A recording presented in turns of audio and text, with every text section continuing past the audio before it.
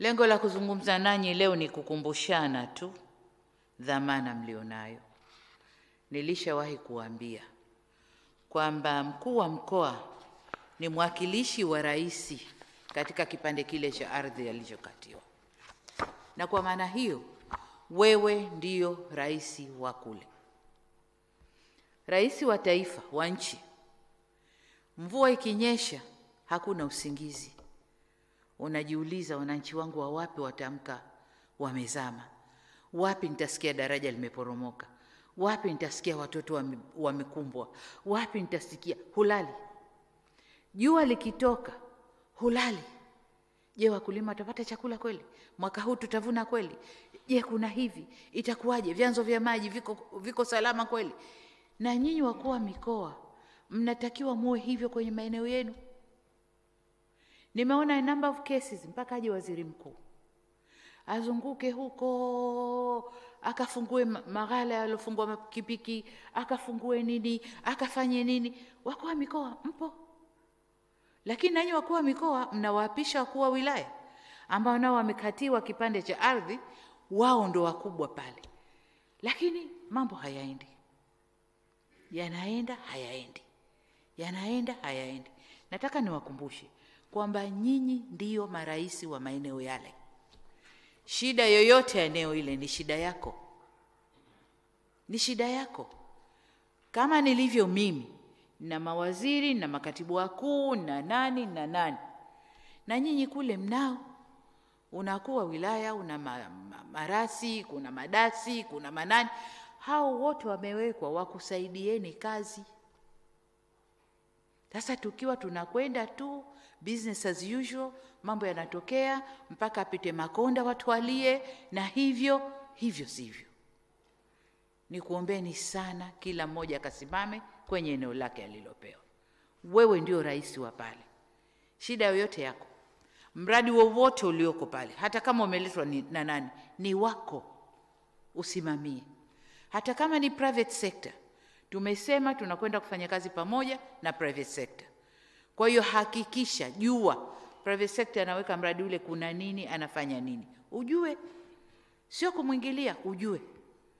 Kwa hiyo niwakumbushe tu kwamba wewe, nyinyi ndio marais wa kule.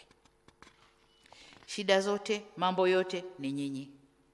Mimi nikichupa kumuuliza mkuu wa wilaya ni curiosity tu kutaka kujua kilichoko kule kama anavijua vizuri, lakini contact person wangu ni waziri na wewe. Naweza nikamchupa waziri nisimuulize, nikaja nikakuuliza mkuu wa mkoa, mkuu wa mkoa, hebu niambie, nasikia kuna kuna kuna kuna kuna kukoje, na nategemea jawabu iliyo ndiyo kutoka kwako. Kwa hiyo nyinyi ndio marais wa kule, simamieni mambo yaliyoko kule, lakini jengine ni kusimamia kero za wananchi. Makonda amezunguka, mmeona mfano, wananchi wanakerwa kadhaa, nyingine nyepesi tu za kutatuliwa kule chini, hawasikilizwi, na wasiposikilizwa, zile ndizo kura zetu. Wasiposikilizwa, msipowasikiliza, akipita mwingine akiwambia mi nikiingia nitawasikiliza, watampa kwamba sisi tumewapuuza, hatuwasikilizi. Kule ndiko kuliko ushindi wa chama kilichokuwekeni. Vinginevyo mkifanya vingine, wengine watakwenda wabebe ule ushindi waondoke nao. Kwa hiyo niwasisitize sana kusikiliza wananchi.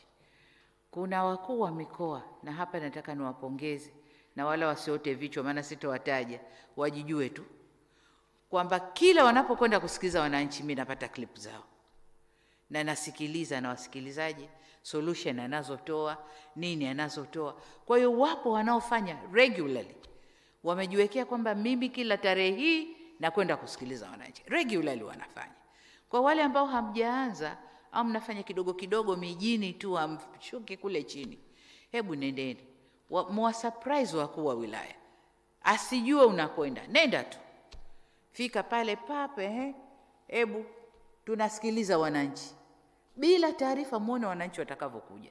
Wananchi wana shida sana kule chini, nendeni mwasikilize wananchi. Mliapa kuilinda Jamhuri ya Muungano wa Tanzania katib, na katiba yake, lakini katiba yetu ibara ya nane moja c inasema kwamba serikali itawajibika kwa wananchi, na serikali kuwajibika kwa wananchi ndiyo huko. Serikali sio rais juu na mawaziri wake na makamu wa rais na waziri mkuu, hapana.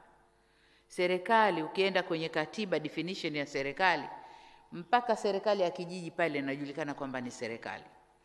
Kwa hiyo hata serikali ya kijiji iwajibike kwa wananchi wake, na wasimamizi wa hayo ni nyinyi wakuu wa mikoa mkisaidiwa na marasi wenu. Kwa hiyo nendeni kafanyeni hivyo.